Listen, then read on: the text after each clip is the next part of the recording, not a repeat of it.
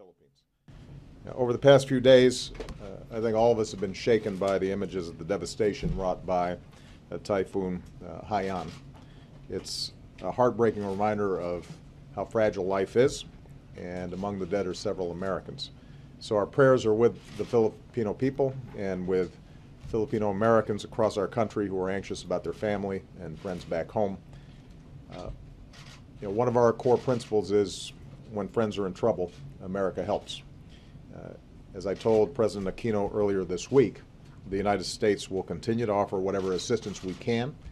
Uh, our military personnel and USAID team do this better than anybody in the world, and they've been already on the ground working tirelessly to deliver food, water, medicine, shelter, uh, and to help uh, with airlift.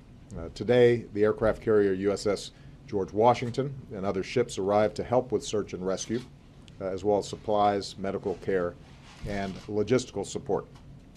And uh, more help is on the way. Uh, America's strength, of course, has always been more than just about what our government can do. It's also about what our citizens can do.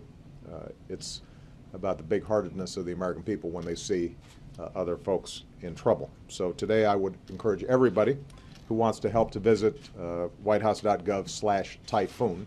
That's whitehouse.gov slash typhoon. And that'll offer you links to organizations that are working on the ground uh, in ways that you can support their efforts. Uh, our friends in the Philippines will face a long, hard road ahead, uh, but they'll continue to have a friend and partner in the United States of America. Now, switching gears.